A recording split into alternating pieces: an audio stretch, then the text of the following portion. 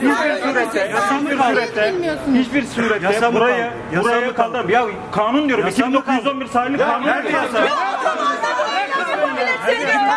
Hangi kanundan söz ediyorsunuz? Enkaz altındakilere de işlemedi o kanun. Seçim hükümeti ne olacak? Hat şeklinde gelin. Anayasada müstem hükümeti gelsin. Hangi kanun? Lütfen, işte sonu. Lütfen, lütfen arkadaşlar, lütfen. Bakın şu anda gerçekleştirildi yardımın, bu dayanışmanın gerçekleşmemesi için de e, böylesi bir e, konsept sergileniyor. Sıcak evlerinde oturanlar halkın dayanışmasının, halkın yan yana gelmesinin, halkın bir arada bulunmasına karşı devletin zorunu, gücünü, askerini kullanıyor. Biliyorsunuz HDP belediyelerine kayyum atandığında toplum sessiz kaldı, toplumsal kamuoyu sessiz kaldı.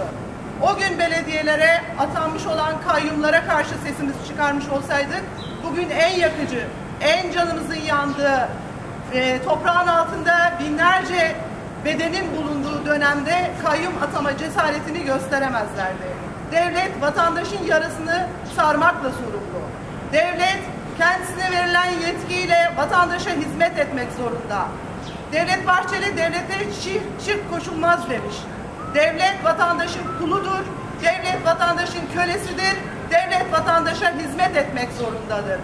Ah, Sayın Bahçeli muhtemelen kendisine şirk koşulmamasından bahsediyor olabilir. basın açıklamasına, herhangi bir özgürlük mücadelesine asla izin vermediklerini bir kere daha bugünkü HDK basın açıklamasında da gördük. Halklarımız şunu bilsin, asla bu katilleri unutmayacağız, affetmeyeceğiz ve tek bir görevimiz var on binlerce insanımıza, katledilmiş on binlerce insanımıza boynumuzun borcudur. Bu AKP ve MHP faşizmini yıkacağız. mecralarda soruluyor devlet nerede diye. Devletin nerede olduğu ortaya çıktı.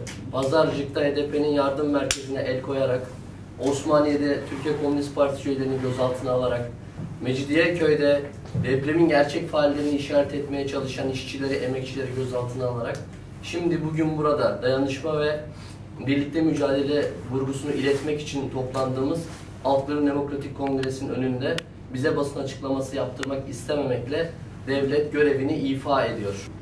Çünkü bu 10 gün içerisinde halklar çok muazzam bir dayanışma örneği sergilediler ve dayanışmayı ördüler.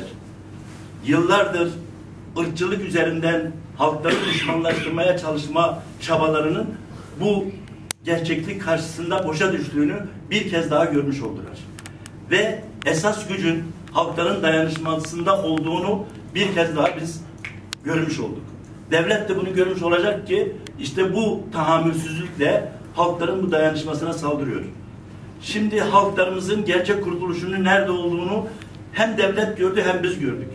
O halde dayanışmamızı biraz daha güçlendirerek, örgütlüğe çevirerek halkların ortak yaşamını kurmak göreviyle karşı karşıyayız. Bugün e, depremin e, deprem bölgelerinde olmayan devlet e, bugün e, yardım dayanışma kampanyaları yürüten ilerici devrimci ve yurtsever kurumlara saldırıyor çünkü e, bir yandan OHA ilan ediyor, bir yandan kayyum kayyum kayyum atıyor, bir yandan göç mültecilere yönelik e, işkenceyle saldırıyor, hapishanelerde tutsaklara saldırıyor.